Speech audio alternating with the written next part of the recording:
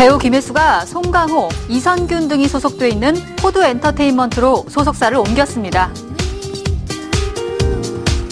호두 엔터테인먼트는 31일 보도자료를 통해 2011년 6월 1일부터 배우 김혜수의 소속사가 호두 엔터테인먼트로 변경된다고 전했는데요.